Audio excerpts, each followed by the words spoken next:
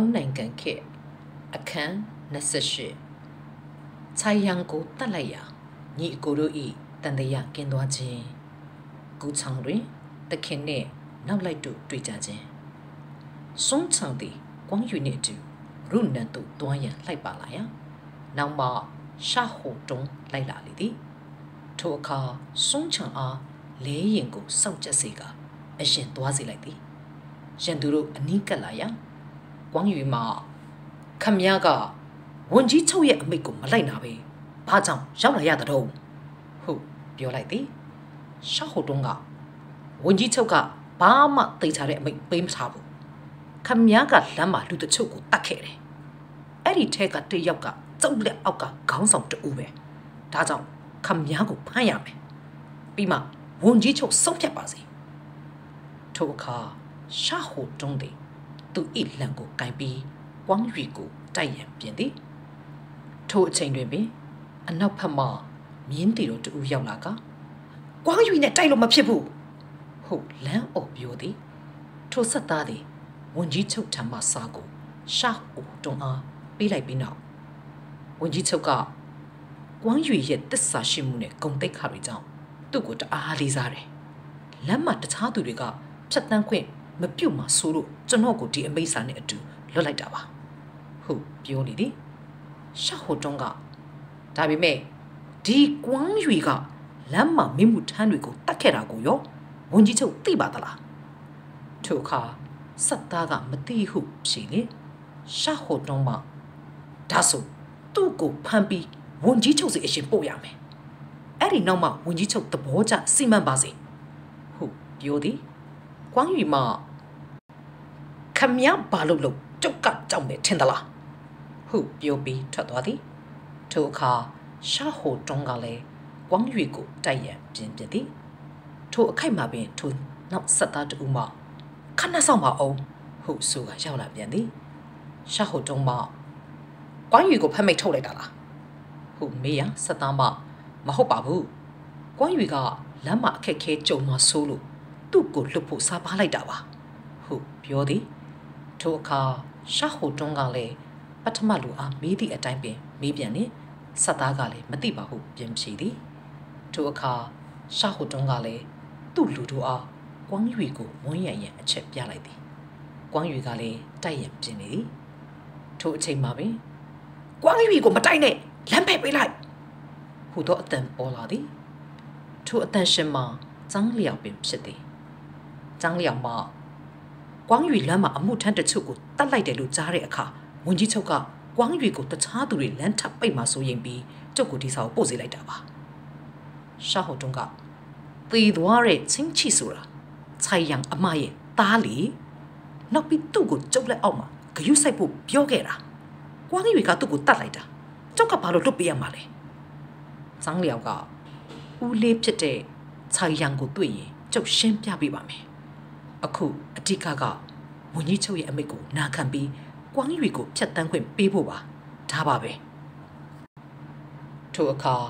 ရှာဟိုတုံးကလည်းအမိန့်ကိုမဖီဆန်နိုင်ရကတက်ဆုပ်သွားလေသည်ចောင်းလျောင်မကွမ်းရွေအားဘယ်ကိုသွားမလဲဟုတ်မေးရကွမ်းရွေမကျုပ်အကိုကအခုမှရွှန်ရှောင်းတဲ့အတူရှိမနေတော့ဘူးဆိုတော့သူရှိတဲ့နေရာကိုသွားရမှာပေါ့ဟုတ်ရှိသည်ခမည်းဘယ်သွားရမယ်ဆိုတာမသိရင် ဝန်ကြီးချုပ်စီပြန်လာခဲ့ပါလားကွမ်းရွေမပြုံးလိုက်ပြီးဒါအတိတ်ပဲမရှိတာပဲဒါပေမဲ့ခမည်းပြန်ရင်ကျုပ်အမားအတွက်တောင်းပန်ပေးပါဟုပြောပြီးចောင်းလျောက်အားနှုတ်ဆက်ထွက်ခွာသွားသည်ចောင်းလျောက်သည်ရှာဟိုတုံးတက်နေပူပေါင်းနေသည်ကွမ်းရီကလည်းလဲရင်နောက်ပြန်လိုက်ပြီးမြေတို့မြေပုံဖြစ်သည်ကိုစွန်းချံအားပြောပြလေသည်ရက်အနှင်းငယ်ကြတော့လမ်းတွင် မိုးအသေးထန်ရွာသဖြင့်တဲကိုရနေရရှာရလေခွက်တစ်ခုတွေ့သည်ထိုလေခွက်မှလေသမားအဖိုးအတူထွက်လာကကျူစုပြီးကျွန်တော်နာမည်ကတော့ကောချန်းပါ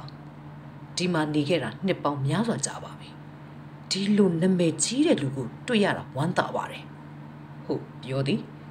ထို့နောက်ကောချန်းသည်တိုးတကောင်ကိုတက်ပြီးအရက်တို့နဲ့အတူဧည့်သည်တို့အားဧည့်ခံသည်အမျိုးသမီးနှစ်ဦးတို့ကိုလည်း အိမ်အတွင်းဖက်တွင် နားနေစေသည်ထို့နောက်အိတ်တို့ကိုအချောက်ခံပြီးမြင်းတို့အားအစာကျွေးသည်နောက်ရက်တွင်ထိုအိရှင်အဖိုးအုံမဒါကျွန်တော်သားပါဟုပြောပြီးကွမ်းယူနှင့်မိတ်ဆက်ပေးသည်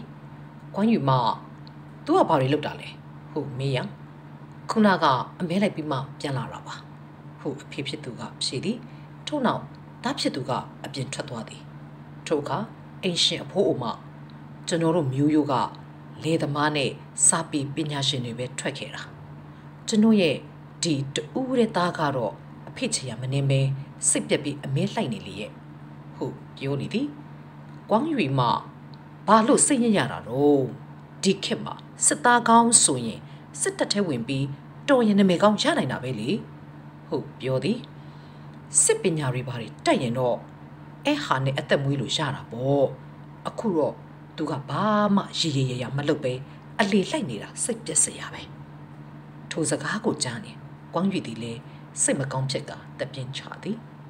အဖိုးအိုလဲညနေသည့်အထိအဖို့ပြုတ်ပြီးပြီးနောက်ထွက်သွားသည်ဧည့်သည်တို့လည်းအနားယူရန်ပြင်သည်ထိုအချိန်တွင်ပင်အပြင်ဖက်မှမြင်းတန်တို့ကြားသဖြင့်ကွမ်းယူမှသူ၏အဆောင်တို့ကိုခေါ်ရာမြည်တို့မြပြန်မထူကြကွမ်းယူသည် ဆုံးချံနှင့်အတူဓာကိုစီဖြင့်မြင်းဆောင်သို့ထွက်ကြည့်ကြသည်ထိုအခါမြင်းဆောင်အနီးဝဲအိမ်ရှင်ဤသားသည်မြေကြီးပေါ်တွင်ရှိနေပြီးသူ့နှောက်လိုက်တို့အားတိုက်ခိုက်ရန်အော်ပြောနေသည်ထိုအခါကွမ်းရီကအဆောင်တို့အားအပြက်ပြက်တို့ကိုမေးရာအဆောင်တို့မှဒီကောင်ကယုံဒီကိုခိုးဖို့လုပ်နေတာမြင်းကကန်လိုက်ပြီးနောက်လည်းကြောက်သွားတယ်ကျွန်တော်တို့လည်းအတန်ကြောက်လို့လာကြည့်တော့သူကသူ့လူတွေကိုတိုက်ဖို့ပြောနေတယ်ဟုတ်ပြောလေသည် ကွမ်းရီမှတခိုးရီငါမြင်းကိုခိုးချင်သေးတယ်ဟုတ်အော်လေသည်ကွမ်းရီဘာမှမလုပ်ခင်တွင်ပင်အင်ရှင်ဖြစ်သူရောက်လာပြီးကျွန်တော်တားလှုပ်တာကျွန်တော်ဘာမှမသိပါဘူးသူသေးတင်ပါတယ်ဒါပေမဲ့သူ့အမေဖြစ်သူကသူ့ကိုတအားချစ်တဲ့အတွက်ငဲ့ညာပေးဖို့တောင်းပန်ပါတယ်ဟုတ်ပြောသည်ဒီလိုလူမျိုးဒီလိုအဖေမျိုးရှိဖို့မထိုက်တန်ဘူးဒါပေမဲ့ခမည်းမျက်နှာနဲ့သူ့ကိုခွန့်လွတ်လိုက်မယ် ထို့နောက်ကွမ်းရွေသည်သူ့လူတို့အားတတိရှိရန်ပြောပြီးအထဲသို့ဝင်ကအနားယူသည်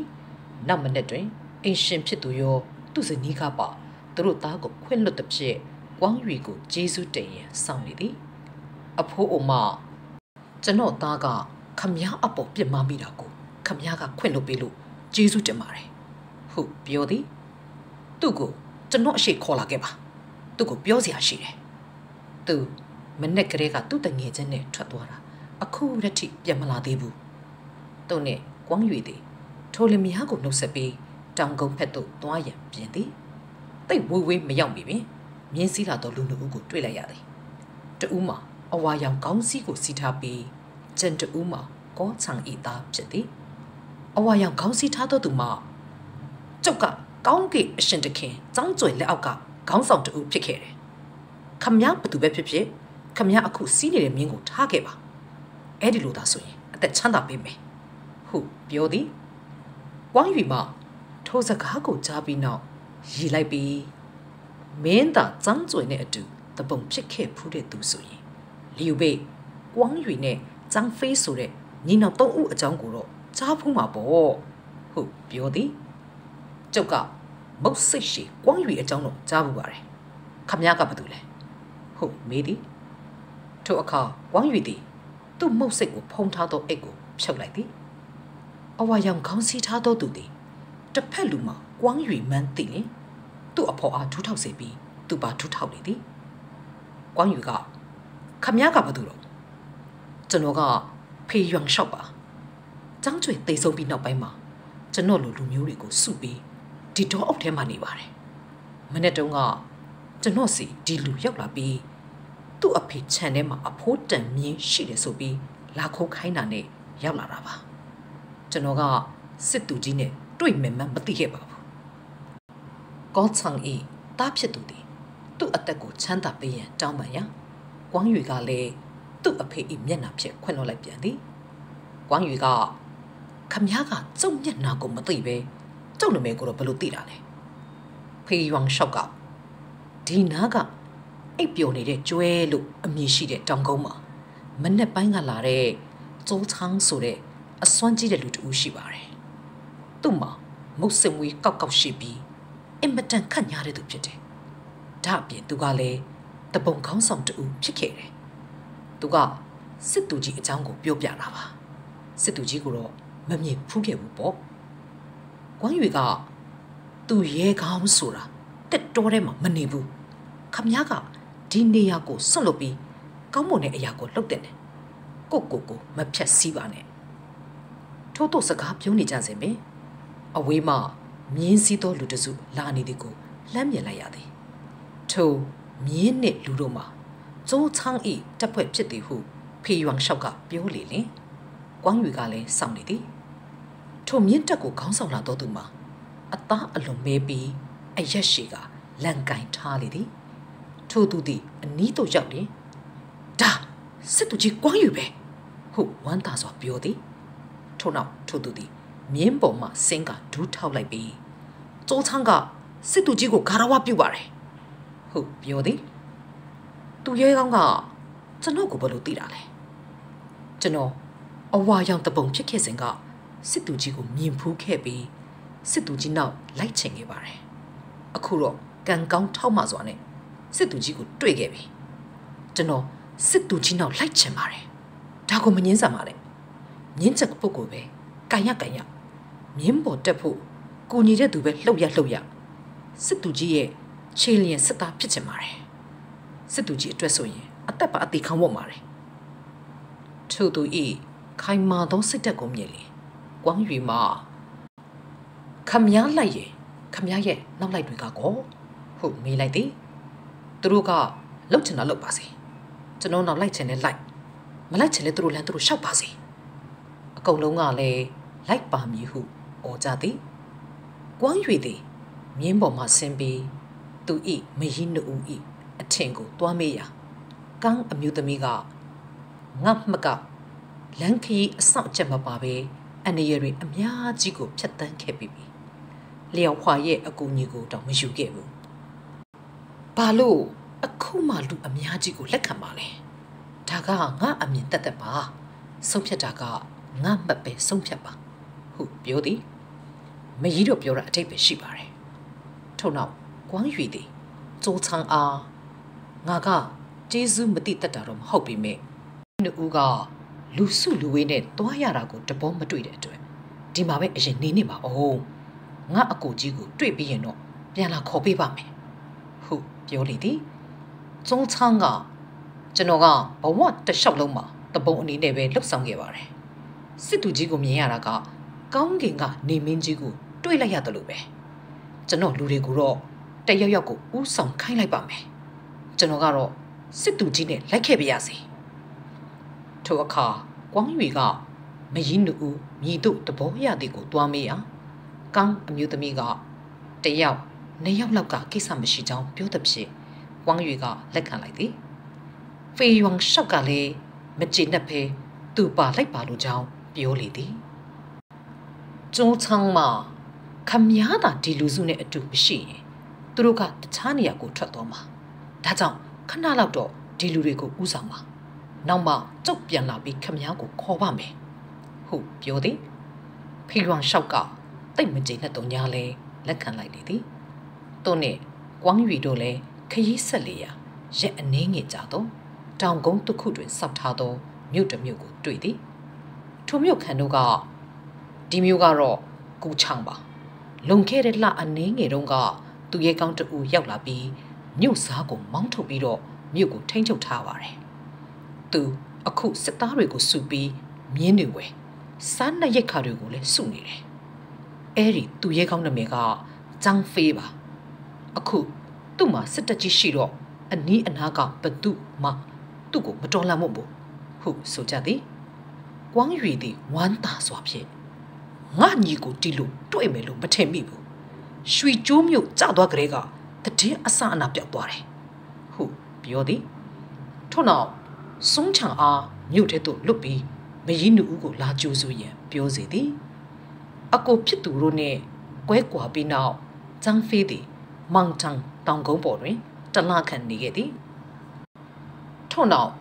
ကူချောင်မြို့သို့ဖြတ်ရာအစားအစာချင်းငှရမပေးသဖြင့်လက်စားချေသည့်အနေဖြင့်မြို့စားကိုမောင်းထုတ်လိုက်ပြီးမြို့ကိုတင်လိုက်လေသည်ထိုနေရာသည်လက်ရှိအခြေအနေအတွက်တင့်လျော်သောနေရာဖြစ်နေသည်စွန်းချံသည်လေဂျန်ဖေးနှင့်တောတွေ့ပြီးလူဘေကယွမ်ရှောက်စီကထွက်ပြီးရုနန်ကိုရောက်နေပြီ။ကွမ်းရွေကတော့မကြီးနှစ်ဦးနဲ့အတူ မြို့တကားဝမှာသူကခမည်းကိုလာကြူခိုင်းတာဟုတ်ပြောသည်။ဂျန်ဖေးသည်ဘာမှမပြောဘဲနားထောင်နေပြီးသူ့အကိုကသူ့ကိုလာကြူခိုင်းတယ်လို့နေရအရောက်ပဲ။သူ့တန်ချက်ကကိုယူစီပြီးမွေလန်ကိုကိုင်ကစစ်သားတို့နဲ့အပြင်ကိုထွက်သည်။စွန့်ချံမှလည်းရုတ်တရက်အံ့ဩသွားပြီးနောက်မှလိုက်ပါလာလေသည်။ကွမ်းရွေမှာဂျန်ဖေးကိုမြင်လင်ဝမ်းသာစွာဖြင့်လက်နက်ကိုချပြီး ဂျန်ဖေးစီသို့မြင်စီသွားသည်။အနီးသို့ရောက်တော့ဂျန်ဖေးမျက်နှာတွင်ဒေါသထွက်နေသည်ကိုမြင်လိုက်ရသည်။ဂျန်ဖေးသည်သူ့လံကိုဝှေ့ရမ်းပြီးကွမ်းရွေအားချိန်ချောက်နေသည်။ကွမ်းရွေကအံ့ဩသွားပြီးငါညီဒါဘာသဘောလဲ။မဲ့မုံပန်းချံကတက်စာကိုမိသွားပြီလား။ဟုပြောသည်။ဂျန်ဖေးမှာခမည်းကမကောင်းတာကိုလုပ်ပြီးမှကြောက်ကိုပြန်လာတွေ့တယ်ဘာသဘောလဲဟုအော်ပြောသည်ဘာကိုမကောင်းတာလဲ ခမည်းကအကိုကြီးကိုတက်စာဖောက်ပြီးခြောက်ချောင်းလက်အောက်မှာအညံ့ခံပြီးတော့မှဂုံထူးဂုံသိန်းတွေရခဲ့တာမဟုတ်လားအခုကြောက်ကိုဖမ်းဖို့ရောက်လာတာမလားခမည်းနဲ့ကျုပ်နေရောက်တဲ့ကတယောက်သေမဖြစ်မယ်ဒါမင်းနားမလဲတာပဲငါရှင်းပြဖို့ခက်ခဲတယ်မယုံရင်ပါလာတဲ့မကြီးနှစ်ဦးကိုမေးကြည့်ပါသူတို့ကမင်းကိုရှင်းပြပါလိမ့်မယ်ထိုအခါအမျိုးသမီးနှစ်ဦးတို့က လဲရင်အိလှိုက်ကကိုဖွင့်ကငါမောင်ဘာဖြစ်တာလဲဟုမေးသည်ဇန်ဖေးမအမနှစ်ဦးတို့ကခဏဆောင်ကျွန်တော်ဒီတစ္ဆာဖောက်ကိုတတ်ပြီးရင်မြို့ထဲကိုပို့ဆောင်ပေးပါမယ်။ကောင်းအမျိုးသမီးမငါမောင်ဒီမှာရှိမှန်းသူမသိခဲ့တော့ခြောက်ချောက်လက်အောက်မှာအညံ့ခံခဲ့တာ။ဒါပေမဲ့ဦးကြီးတော်ကရုနံမှာရှိတယ်ဆိုတဲ့သတင်းကြားတာနဲ့အန်ရရီတွေကိုဖျက်ချော်ပြီးငါတို့ကိုခေါ်လာခဲ့တာ သူ့လှုပ်ဆောင်မှုတွေကိုတလွဲမထင်ပါနဲ့မိအမျိုးသမီးမမင်းအကိုကရွေးချယ်စရာမရှိလို့ရွှေချံကိုတွားခဲ့တာပါចောင်းဖေးကမကြီးနှစ်ဦးကသူ့လက်စားတာကိုမခံပါနဲ့တက်ဆာရှိရုံမှန်ရင်တိတ်ခါကြခံတာတဲ့အတပဲတေခံမှာပေါ့လူတယောက်ကတခင်တဲ့ရောက်မရှိသင့်ဘူးကွမ်းယူမငါညီငါ့ကိုမတိုက်ခိုက်ပါနဲ့တော့ စွန်းချံကကွမ်းယူကခမည်းကိုလာခေါ်တာပါဇန်ဖေမဘာရီပေါက်တောက်ကရပြောနေတာလဲသူကကြောက်ကိုဖမ်းဖို့လာတာငါသာမင်းကိုဖမ်းဖို့လာရင်စစ်တပ်တွေပါလာမှာပေါ့ထိုအခါဂျန်ဖေးသည်အနောက်ဘက်သို့လက်ညှိုးညွှန်ပြီးအဲ့ဒါစစ်တပ်တွေမဟုတ်ဘူးလားဟုတ်မေးသည်ကွမ်းရည်သည်လည်းအနောက်လှည့်ကြည့်ရာမြင်းတက်တချို့လာနေသည်ကိုတွေ့ရသည် ထိုစစ်တပ်အနီးသို့ရောက်လာတော့အလံမှာ6 6ဤအလံဖြစ်နေသည်ဇောင်းဖေးကအခုတော့ကျုပ်ကိုလှည့်စားနိုင်ပါဦးမလားထို့နောက်ဇောင်းဖေးသည်သူဤလံဖြစ်ကွမ်းရွေကိုတိုက်ရန်ပြင်သည်ကွမ်းရွေကငါညီခဏနေပါဦးဒီတက်ဖွဲ့ကိုခေါင်းဆောင်လာတဲ့သူကိုတတ်ပြီးငါကတက်စာပေါက်မဟုတ်တာတက်တည်ပြပေးပါမယ်။ဂျန်ဖေးကကျုပ် ဘုံသုံးချက်တီးလို့မပြီးခင်အချိန်တော်အတွင်းအဲ့ဒီတပ်ဖွဲ့ကိုခေါင်းဆောင်လာတာဘယ်သူပဲဖြစ်ဖြစ်တပ်ပြပါ။ကွမ်းရွေကလည်းလက်ခံလိုက်သည်။ထိုတပ်ဖွဲ့ကိုဦးဆောင်လာသူမှာခြိုင်ရန်ဖြစ်နေသည်။ခြိုင်ရန်သည်လက်တွင်ဓားကင်ကထွက်လာပြီးငါတူကိုတတ်တဲ့သူကိုတွေးပြီးခမည်းကိုဖမ်းပြီးတတ်ဖို့အမိတ်ရထားတယ်။ဟုတ်ဆိုသည်။ကွမ်းရွေသည်လည်းသူ့ဓာတ်ကိုအစင်သစ်ပြန်လိုက်သည်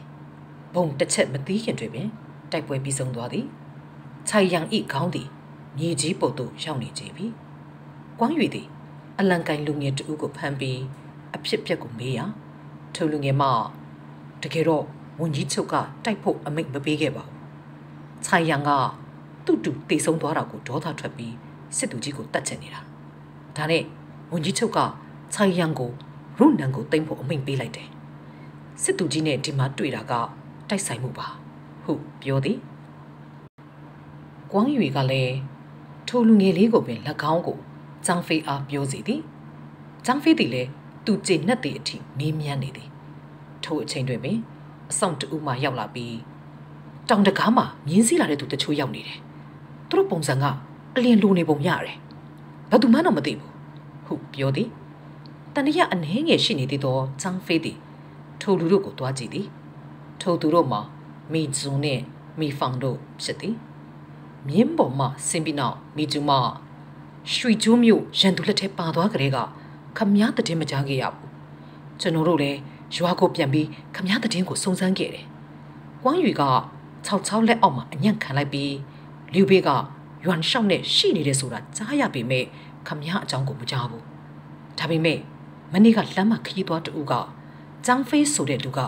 ကိုချောင်းကိုတိမ့်လိုက်တယ်ဆိုတဲ့သတင်းကြားတာနဲ့ကျွန်တော်တို့လည်းဒီကိုလာခဲ့တာ ဟုတ်ပြောသည်ចောင်းဖေးကကွမ်းရွေနဲ့စုံချန်းလက်ဒီကိုရောက်နေတယ်မကြီးနှစ်ဦးလည်းသူတို့နဲ့အတူရှိနေတယ်သူတို့ကအကိုကြီးရဲ့သတင်းကိုကြားပြီးလာကြတာသူ့နဲ့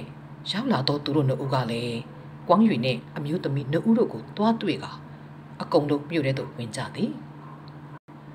အမျိုးသမီးနှစ်ဦးတို့သည်ခဏနားပြီးနောက်လမ်းတွင်ဖြစ်ခဲ့သောအဖြစ်ပြက်တို့ကိုဂျန်ဖေးအားပြောပြလေသည်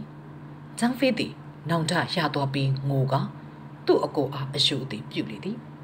ဂျန်ဖေးကလည်းသူ့အဖြစ်ပြက်တို့ကိုပြောပြသည်ထို့နောက်တွင် စားတော့ပွဲတို့တေခင်းစားတော့ကြသည်နောက်ရက်တွင်ဂျန်ဖေးသည်ကွမ်းရွေနှင့်အတူရုနန်တို့သွားမည်ဟုပြောသည်သို့တော့ကွမ်းရွေမှမင်းကဒီကနေပဲနေပြီးမရင်းနှုတ်ဦးကိုစောင့်ရှောက်ပါငါနဲ့ဆွန်ချမ်းပဲသွားမယ်ဟုပြောသည်တို့နဲ့ကွမ်းရွေသည် ဆွန်ချမ်းနဲ့အတူသွားတော့ရုနန်တို့ရောက်တော့အခါလျူဖီနဲ့တွေ့သည်လျူဖီမလျူဘေးကမြို့ထဲမှာမရှိတော့ဘူးဒီမှာရက်အတော်ကြာနေပြီးတော့စစ်သားတအားနေတယ်လို့ကောက်ချက်ချပြီးယွမ်ရှောက်နဲ့တိုင်ပင်မှုပြန်သွားတယ်။ကွမ်းရွီမှာစိတ်တက်ကြသွားသည်။ထိုအခါဆုံချမ်းမစိတ်မကောင်းမဖြစ်ပါနဲ့။အခုတော့ဦးကြီးတော်ကိုရှာဖို့နောက်ထပ်ခရီးထပ်ထွက်ရုံပါပဲ။ကျွန်တော်တို့အားလုံး ကူချောင်းမှာတွေ့တာပေါ့။ဟုတ်ပြောသည်။ကွမ်းရွီကလည်းလက်ခံပြီးကူချောင်းသို့ပြန်နေသည်။ဂျန်ဖေးသည်ကွမ်းရွီနှင့်အတူမြစ်ဝါမြစ်မြောက်ဖက်သို့သွားကျင်တော်လဲကွမ်းရွီမှဒီမျိုးကငါတို့အတွက်စစ်သားစုဆောင်ဖို့နဲ့အနားယူဖို့လိုတယ်။ဒါကြောင့်ဒီမြို့ကိုလက်လက်မခံပါနဲ့။ငါနဲ့ဆုံးချောင်းပဲသွားမယ်။မင်းကတော့မြို့ကိုစောင့်နေပါ။ဟုတ်ပြောလိုက်သည်။ဒါပေမဲ့အကိုကဝမ်ချုံနဲ့ရန်ရန်ကိုတတ်ခဲ့တာ ဘယ်လိုသွားမလဲ။ဒါပေမဲ့လည်းသွားရမှာပဲ။ဟိုရောက်မှမိစင်ကြည့်ကြရတာပေါ့။ထို့နောက်ကွမ်းရွေသည်ကျုံချောင်းအားခေါ်ပြီးအိပ်ပြုံနေတဲ့ကျွဲတောင်မှာလူပဲနှစ်ယောက်လောက်ရှိလေဟုတ်မေးသည်၄900လောက်ရှိမှတင်တယ်အခုငါအနည်းဆုံးလမ်းကနေငါအကိုကြီးစီသွားမယ်မင်းကမင်းတက်ဖွဲ့ကိုသွားခေါ်ပြီးငါ့ကိုလာကူပေးမလား ကွမ်းရွေပြောသည့်အတိုင်းလှုပ်ဆောင်ရင်ကျုံချောင်းလဲထွက်သွားသည်ကွမ်းရွေနဲ့ဆုံချောင်းတို့လည်းလူအနှင်းငယ်နဲ့အတူမြောက်ဘက်သို့ထွက်ကြသည်နေဆက်အနီးသို့ရောက်တော့ဆုံချောင်းမှခမည်းပါလိုက်ရင်အနေရများတယ်ဒီတော့ခမည်းဒီမှာပဲနေခဲ့ပါကျွန်တော်ပဲဦးကြီးတို့နဲ့တွားတွေးလိုက်မယ်ဟုတ်ပြောသည်ကွမ်းရွေကလည်းထိုစကားအတိုင်းပဲထိုအနီးအနားရှိလေတော်တွင်ခဏတာနေရန်သွားသည်ထိုလေရှိအဖိုးအိုတူနဲ့တွေ့ပြီး ကွမ်းရွေကသူ့အကြောင်းကိုပြောပြလိုက်သည်ထိုအဖိုးအိုမကျွန်တော်မျိုးရိုးကလည်းကွမ်းဖြစ်ပြီးတော့နမေကတင်ဖြစ်ပါတယ်ကျွန်တော်ခမည်းရဲ့ဂုံတည်င်းကိုကြားဖူးပြီးအခုလိုတွေ့ရတာဝမ်းသာပါတယ်ဟုတ်ပြောသည်ထို့နောက်အဖိုးအိုသည်လည်းသူ့သားနှစ်ဦးကိုကွမ်းရွေနှင့်မိတ်ဆက်ပေးသည်ထို့အချိန်တွင်စွန်းချောင်းသည်ကြည်ကျိုးသို့ရောက်ပြီးလျူဘေးနှင့်တွေ့သည်အဖြစ်အပျက်လုံးစုံကိုကြားတော့ လျူဘေးမှចောင်းယုံလေးဒီမှာရှိနေတယ်သူ့ကိုပါခေါ်ပြီးတိတ်တဆိတ်တိုင်ပင်ကြတာပေါ့ဟုတ်ပြောသည်ထို့နောက်သူတို့သုံးဦးသည်ရွံလျှောက်ထံမှထွက်ရန်တိုင်ပင်ကြသည်ចောင်းယုံမှတခင်ကြီးကရွံလျှောက်စီကိုတွားပြီးတော့ကျင်းကျိုးကလူပြောက်စီတွားပြီး66ကိုတိုက်ဖို့တိုင်ပင်မယ်လို့ပြောပါဒီလိုဆိုသူ့စိတ်ကထွက်ဖို့အကြောင်းပြချက်ရမှာပါဟုတ်ဆိုသည်ဒါကအကောင်းဆုံးပဲခမရရော ကျုပ်နဲ့လိုက်ပါလားကျွန်တော်မှတခြားအစီအစဉ်ရှိပါသေးတယ်ထို့နောက်လျူဘေးသည်ယွမ်ရှောက်ထံသွားပြီးလူပြောက်ကအင်အားကြီးမားတဲ့အတွက်သူ့အကူအညီနဲ့ရန်သူကိုတိုက်နိုင်ပါတယ်ဟုတ်ပြောသည်ကျုပ်ကသူ့စီတန်တမန်တွေခဏခဏလုပ်ပြီးအကူအညီတောင်းခဲ့ပြီးပြီဒါပေမဲ့သူကမပူပေါင်းချင်ဘူးသူနဲ့ကျွန်တော်နဲ့ကမျိုးရိုးတူတယ်ဆိုတော့ကျွန်တော်တွားရင်တော့ညင်းဆန်မယ်မထင်ဘူးသူက UP ထက်တော့အားကိုးရလောက်တယ်ဒါနဲ့ကွမ်းရွီက66လက်အောက်ကထွက်ပြီးဒီကိုလာနေတယ်လို့သတင်းကြားတယ်သူသာရောက်လာရင်ကျုပ်စစ်သူကြီးအတွက်လက်စားချေတဲ့အနေနဲ့သူ့ကိုတေတံပေးရမယ်ခမ ्या ကသူ့ကိုရဒုခန့်အပ်ချင်နေဆိုလို့ကျွန်တော်ကသူ့ကိုလာခိုင်းစေတာပါသူတက်လိုက်တဲ့သူတို့ကကြားလို့ရဲရင်နဲ့သူ့လိုလိုနဲ့ရှင်ရင်တမင်လောက်ပဲရှိပါတယ်တမင်နှကောင်အတွက်နဲ့ကြားကိုအဆုံးရှုံးခံရမလား ကျုပ်သူ့ကိုကြိုက်ပါတယ်ကျုပ်ကနောက်နေတာပါသူ့ကိုခေါ်ဖို့နောက်ထပ်လူတူဦးကိုလွတ်လိုက်ပါဆုံးချမ်းကိုလွတ်လိုက်ရမလားရတာပေါ့သူနဲ့လျူပိတ်ထွက်သွားသည်မကြမီပင်ကျန်းယုံရောက်လာပြီးယွမ်လျှောက်အားလျူပိတ်ထွက်သွားပြီးရင်ပြန်လာတော့မှာမဟုတ်ဘူးဒါကြောင့်ကျွန်တော်ပါလိုက်သွားပြီးသူ့ကိုစောင့်ကြည့်ပြရစီဟုပြောသည်ယွမ်လျှောက်ကလည်းသဘောတူပြီး နှစ်ဦးလုံးကိုသွားစေလိုက်သည်ထိုအချိန်တွင်ပင်ကော်ထူမဝင်လာပြီးလျူပိကလျူဖီနဲ့သွားတွေ့တာဘာမှမဖြစ်လာခဲ့ဘူးအခုចောင်းယုံကိုလွတ်လိုက်တယ်သူတို့နှစ်ယောက်လုံးပြန်လာမှာမဟုတ်ဘူးဟုပြောသည်အဲ့လောက်တန်တရားမရှိပါနဲ့ចောင်းယုံကယုံလို့ရပါတယ်လျူပိဆုံချန်းနဲ့မီကျူသုံးဦးစလုံးလမ်းတွင်တွေ့ပြီးကွမ်းရွီရှိရာလေတော်သို့သွားကြသည် ကွမ်းရွီကလည်းသူ့အကိုကြီးကိုမြင်လင်အယုအသေးပြုတ်လေသည်ထို့နောက်အိမ်ရှင်ဖြစ်သူကသူ့သားနှစ်ဦးကိုခေါ်ပြီးဧည့်သည်တို့ကိုအယုအသေးပေးစီသည်လူဘေးကထိုသူတို့၏နာမည်ကိုမေးလေသည်ကွမ်းရွီမှဝင်၍မျိုးရိုးနာမည်ကတော့ကျွန်တော်နဲ့အတူတူပါပဲတယောက်ကတော့စားပြီးလေ့လာတဲ့ကွမ်းနံဖြစ်ပြီးတော့မှနောက်တစ်ယောက်ကစစ်မှုထမ်းမဲ့ကွမ်းဖင်ဖြစ်ပါတယ်ဟုတ်ပြောသည်ကွမ်းတင်က ကျွန်တော်ကအငယ်ဖြစ်သူကိုစစ်သူကြီးလက်အောက်မှာအမှုထမ်းစီမလားလို့စစ်သူကြီးဘလို့ထင်တယ်လဲလူဘေးကသူ့အသက်ဘယ်လောက်ရှိပြီလဲ၁၈နှစ်ရှိပါပြီဒါဆိုဒီလိုလုပ်ပါလားကျွန်တော်ညီကသားသမီးမရှိဘူးဆိုတော့ခမည်းသားကိုကွမ်းယူရဲ့မွေးစားသားအဖြစ်မွေးစားစေလိုက်ပေါ့ဒါကိုဘယ်လိုသဘောရတယ်လဲကွမ်းတင်ကလည်းသဘောတူတဲ့ဖြစ်ကွမ်းဖင်ကိုကွမ်းယူအားအယူသည်ပြုစီပြီး လူဘေကိုဘာကြီးဟုခေါ်စီသည်ထို့နောက်ထွက်ခွာရန်ပြင်ဆင်ကြရာအိမ်ရှင်ဖြစ်သူနှင့်သားကြီးတို့သည်ထွက်ပြီးနှုတ်ဆက်လေသည်ထိုလူစုတို့သည်အိတ်နေသောကျွဲတောင်သို့သွားရာမကြမီပင်ဒဏ်ရာရနေသောကျိုးချောင်းနှင့်တွေ့သည်ကျိုးချောင်းကကျွန်တော်ဒီတောင်ကိုမရောက်ခင်မှာသူ့ရဲကောင်းတူကကျွန်တော်တငယ်ချင်းဖေယွမ်ရှောက်နဲ့တိုက်ပြီးသူ့ကိုတတ်သွားခဲ့တယ်။ကျန်တဲ့သူတွေကလည်းအညံ့ခံလိုက်ရတယ်။ကျွန်တော်က တစ်ဖွဲ့ကလူတွေကိုပြန်လာဖို့သွားခေါ်တာ။တချို့သာပြန်လာပြီးကျန်တဲ့သူတွေကတအားကြောက်နေတယ်။အဲ့ဒီတူရဲကောင်းနဲ့တိုက်တာကျွန်တော်ဒဏ်ရာ၃ချိန်ရခဲ့တယ်။လီယိုပေကအဲ့ဒီတူရဲကောင်းကဘာတူလဲ။ဘယ်လိုပုံစံမျိုးလဲ။ကျိုးချောင်ပါသူကတိုက်ရီခိုက်ရီတော်တဲ့သူဖြစ်မှန်းပဲသိပါတယ်။နာမည်ကိုတော့မသိပါဘူး။သူ့နဲ့ကွမ်းရွေသည်ရှေ့ဆုံးမှဥဆောင်ပြီးတောင်ကုန်းပေါ်သို့တက်ကြလေသည်။ ကျိုးချောင်းသည်သူ၏ရန်သူကိုဆဲရေးတိုင်းထွာလေရာမကြမီပင်ထို့သူထွက်လာသည်။လူပေသည်ရုတ်တရက်အပြင်ထွက်ပြီးကျပုတ်ကိုဝိရန်ကကြောက်ယွန်းငါကမင်းကိုရှာနေတာဟုတ်ပြောလေသည်ထိုမြင်းစည်းလာသူမှာအမှန်တကယ်ပင်ကြောက်ရွံဖြစ်နေသည်ကြောက်ရွံသည်မြင်းပေါ်မှဆင်းလိုက်ပြီးလူဘေးကိုဂါရဝပြုသည်လူဘေးကလည်းမြင်းပေါ်ကဆင်းပြီး ဘယ်နည်းပေပုံဖြစ်ဤသို့ရောက်လာသည်ကိုမေးသည်ကြောက်ရွံကကုန်းဆွန်းကြံဟာဒီလိုမျိုးအကြောင်းအရင်းတွေကိုနားမထောင်တတ်တဲ့သူမှမသိခဲ့ဘူးနောက်ဆုံးမှာတော့သူဟာမီးတွေကြားမှာတည်ဆုံးခဲ့တယ်ယွမ်ရှော့ကသူ့လက်အောက်မှာအမှုထမ်းဖို့ခေါ်ခဲ့ပြီးမြဲကျွန်တော်မသွားခဲ့ဘူးနောက်တော့တခင်ကြီးကရွှေကျိုးမှာရှိနေတယ်ဆိုတာကိုသိတော့ရွှေကျိုးကိုလာဖို့လုပ်ခဲ့တယ်ဒါပေမဲ့ရွှေကျိုးကအသိမ်းခံလိုက်ရတော့ကွမ်းရွေက 66စီရောက်နေပြီးတခင်ကြီးကယွမ်ရှော့စီရောက်သွားတယ်ကျွန်တော်ကတခင်ကြီးကိုတွေ့ချင်ပေမဲ့လည်းရွှန်ရှောက်နဲ့မတွေ့ချင်တာနဲ့မလာခဲ့ဘူးနောက်ပိုင်းမှာတယောက်ထဲရှောက်သွားပြီးတော့ဒီနားရောက်တော့ဖေရွှန်ရှောက်ကကျွန်တော်မြင်းကိုခိုးဖို့လုပ်တော့ကျွန်တော်ကသူ့ကိုတတ်လိုက်ပြီးသူ့စခန်းကိုတင်လိုက်တာ။ဇောင်းဖေးကကုချောင်းမှာရှိတယ်လို့ကြားပေမဲ့လည်းကောလာဟာလာလိုပဲထင်ခဲ့တယ်။အဖြစ်ပြက်တွေကတော့ဒီလိုပါပဲ လျူပေရောကွမ်းရွီတို့ကပါသူတို့ကြုံခဲ့ရသည်တို့ကိုပြောပြလေသည်လျူပေကအခုလိုပြန်တွေ့ရတာဝမ်းသာပါတယ်ကြောက်ကြောက်ရွှင်ကကျွန်တော်နေရအနှံ့သွားပြီးအမှုထမ်းဖို့ထိုက်တန်တဲ့သူကိုရှာခဲ့ပြီးမဲ့လေမတွေ့ခဲ့ဘူးအခုတော့တခင်ကြီးရဲ့နဘေးမှာအမှုထမ်းရတာကကျွန်တော်ဘဝအတွက်ပြည့်စုံသွားသလိုပါပဲထို့နောက်သူတို့သည်ကိုချောင်တို့သွားကြသည်